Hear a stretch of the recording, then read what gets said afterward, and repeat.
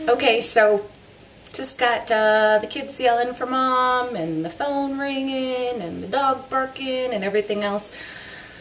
But if you're putting your mascara on, everything must wait.